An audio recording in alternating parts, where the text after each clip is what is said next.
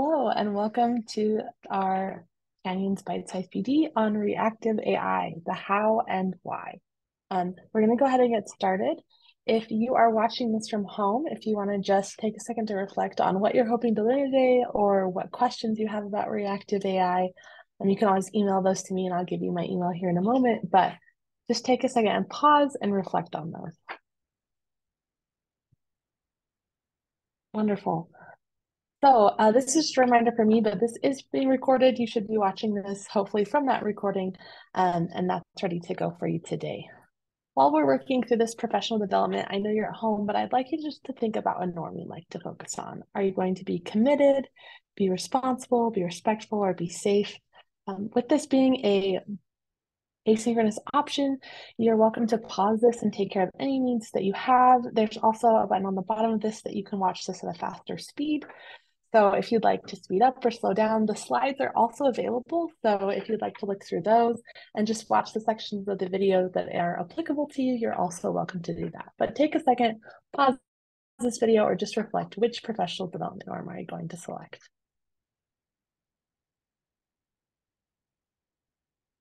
Wonderful. Um, hopefully you'll keep reflecting on that as we work through today. Um, today's learning intentions are that you can differentiate between reactive AI from other types of AI go to access CSD's view of AI, investigate how to teach students, and develop a plan for future investigation. So we're just going to do a brief overview today, um, but I want you to be able to know that as you investigate, I'm going to have you make a plan at the end. And then our success criteria is that you can explain the difference between reactive AI and other types of AI, access that view of AI, and investigate reactive AI to teach students and develop a plan for further investigation. Today we're looking at our MTSS framework. We are looking at instructional content aligned with Utah core standards. So hopefully you understand about reactive AI so you can apply it to teaching your students in your classroom. Um, as a brief introduction, my name is Emma Moss. I am a digital teaching and learning specialist here in Canyon School District, and that's my email. So at the beginning, we talked about if you had questions about reactive AI that are answered. By the end of this, you're welcome to send me an email, and I'd be happy to help answer those and help um, direct you to resources that might help you. So I'm I love my job and I'm grateful to be here and present with you today and hope that this helps you. So just as an overview, we're going to do, we've done our norms and intentions. Um, we're going to talk about what reactive AI is. I'm going to give you a chance to investigate reactive AI. I'm going to model that and then I'm going to ask you to pause the video. So even though it says 15 minutes here, this video may not represent that full 15 minutes because you'll be going and playing with a tool. Um, and then we'll wrap up and I'll share some resources. So first I want to start out by talking about the different types of AI. And I want you to think about how are these different from one another. Also giving you a sam sample sentence stem to model best practice here down in the bottom corner. Um, so as you're thinking, um, think about how are they different why are they different? So the first type, which is what we're talking about today, is reactive AI. So it responds to data or inputs without really learning from that data. So it's kind of just doing what you put in. So it's not making creative jumps or anything like that. It's just saying, if this is what you put in, this is what I got out of it. Okay. Um, we've seen this with adaptive testing. If you have Alexa, if you, if you ever had your students play chess.com, um, that is reactive AI. It's it has coding built into it to be able to help support it. The other thing we have is predictive AI. So it analyzes data to set to learn and predict future events or make decisions. So different things like that of I'm looking at the data that I have based on that data set. I'm going to make a decision based off of that is what the AI is doing. And our last one is generative AI. So it creates new content and generates ideas from learned data patterns. So this is our ChatGPT. It's generating new things. It's learning, not just predicting, but it's actually like taking that next step into the creative realm. So take a second, pause. How are these different from one another? Wonderful. So just to silently reflect on your own, Spotify next song suggestion is what type of AI? Yeah, I would say that's a predictive AI. What about rise testing? Take a second to pause. Rise testing is very much a reactive AI. What about Google Bard, which is now Gemini? Did some rebranding there. If you haven't heard of this tool, this is a generative AI, so it creates new content from ideas. So oftentimes we looked at reactive, um, it starts to step into this realm of machine learning. So I here that it responds without learning from data, but it has to have some data patterns. And so for us, we kind of equate those two terms because we don't see a lot with the development of technology. We the line between reactive and predictive is really blurred. And so um, we kind of encapsulate this as the first step in AI, which was really machine learning with that reactive piece. And so I want to show you some of that today. So I want to watch this video. Um, this is a video from code.org. They have a lot of videos that are great for students. They talk about how the learning process works. And so I want you to think about what's something that you learned about machine learning while you watch this.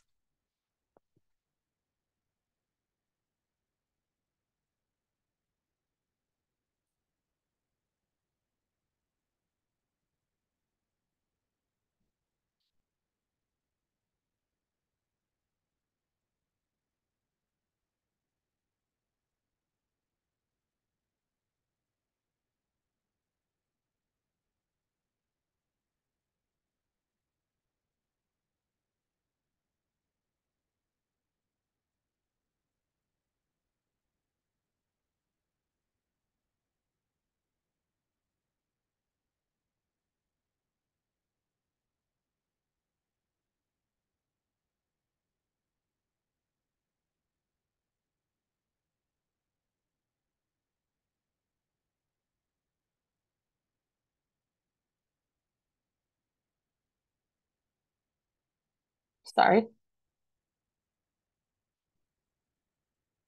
Get back to where we were. I apologize.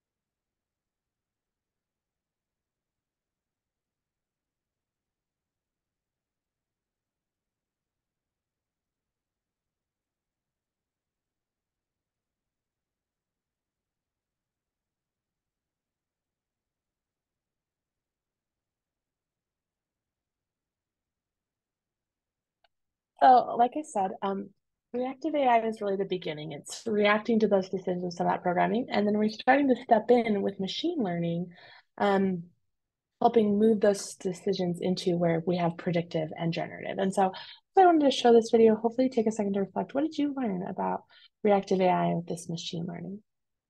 Okay, so hopefully at this point you're able to differentiate. I wanted to just show you where you can find the view of AI. So um, the View of AI is Canyon School District's guidebook um, for how to use AI. And so if you go to canyonsdistrict.org slash family connections, it will take you down to this area where as digital citizenship, you can click on artificial intelligence. And in that space, you're able to find a guidebook. And that guidebook has a lot of information. So I want you to take a second. Um, you can either go to that website, um, but it has things that are specifically for you as an educator. So over here we have the view of AI and canyons for educators, and it has the section, um, we start with It's an acronym. VIEW stands for Value of Understanding, Implementing Safely, Educational Learning, and World Preparation. And so in the educational learning section, we have talking about how can you utilize AI. So I want you to take a second and pause this video. What do you notice or wonder after reading? And how could you find the answers?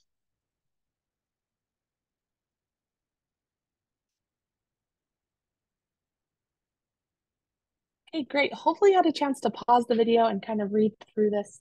Like I said, I know because this is a asynchronous option, the timing may be a little bit differently, um, but I wanted to make sure that you had a chance to process. So make sure you're pausing as you're watching and working through this.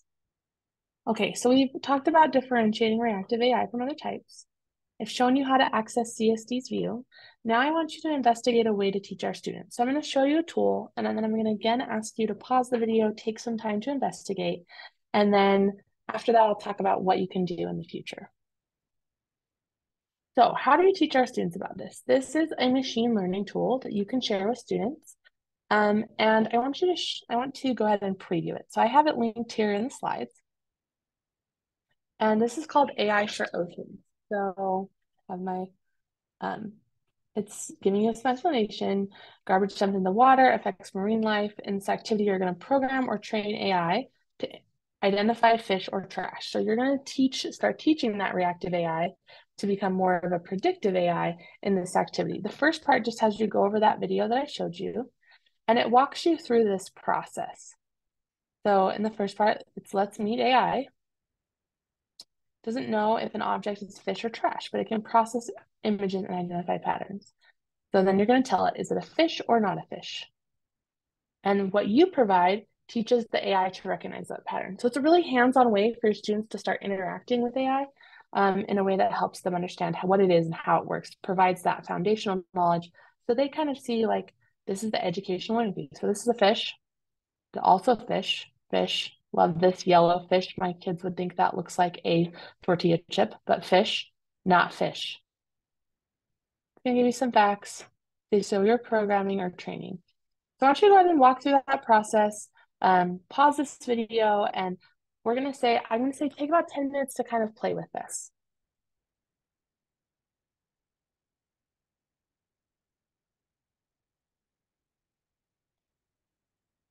Perfect, thanks for pausing.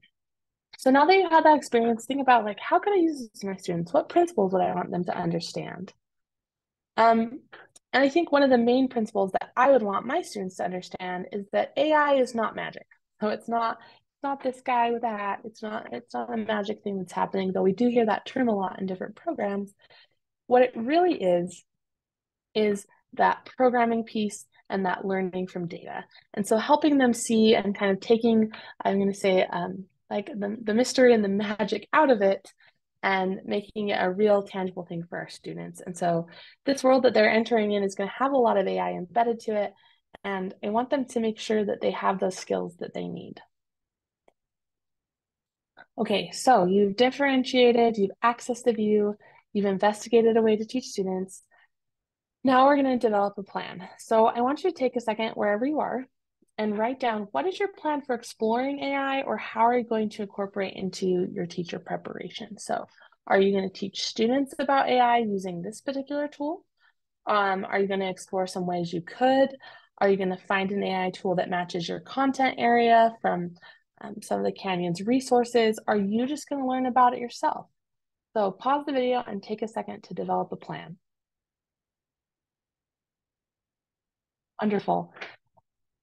So just for your information as we wrap up, um, I do have some things for you to explore. Down here I have code.org lessons. They have pre-made lessons for um, things about AI. There's also ISTE lessons, so that's the International Society for Technology Education, and there are common sense lessons. So there's a lot of resources out there. These are a couple that I feel like are really good, um, depending on your content area and talk about AI. Um, I also have a video about the future of AI. So um, Sam Altman is involved with ChatGPT and OpenAI. Um, and so if you want to watch something fascinating and see how they feel about the future, that's a great resource. This one has 30 AI tools for the classroom designed specifically for different areas. Um, make sure that you check the Canyon School District Learn platform to see which ones are approved. The View guidebook is also linked here, and then bringing AI to school, tips for school leaders. um, there from ISTE. And I just want to wrap up and say technology alone is not enough. For you as an educator, our students need you and, and the things that you bring that are uniquely human to make a positive impact. So even with the evolution of AI, just know that you are still needed and it's important that you are there and you bring your passion and creativity and everything that makes you you in partnership with the technology to empower our students to learn and be better. So thanks for watching. There's some important links here in the slides. We have our PD bite-sized credit page, and then there's a feedback form. I'd always love to hear your feedback. Um, unless you identify yourself, I won't know who you are. So if you want to connect with me, you're also welcome to email me.